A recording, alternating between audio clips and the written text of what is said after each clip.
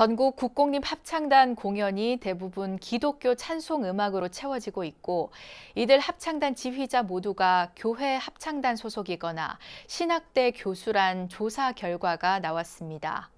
조계종 종교평화위원회가 전국 19개 국시 도립 합창단을 상대로 지난 3년간의 공연 내용과 지휘자 인적 구성을 조사한 결과 코로나 영향이 없었던 2018년과 2019년 2년간 이뤄진 31번의 정기 또는 순회 공연에서 연주곡의 80% 이상이 기독교 노래였던 걸로 집계됐습니다.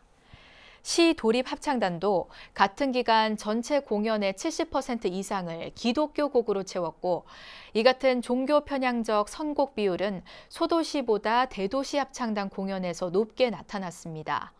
이와 함께 국공립 합창단 상임 지휘자 모임인 한국합창지휘자협회에 소속된 57명 전원이 개별 교회 합창단 활동을 겸하거나 신학대 교수인 걸로 조사됐습니다.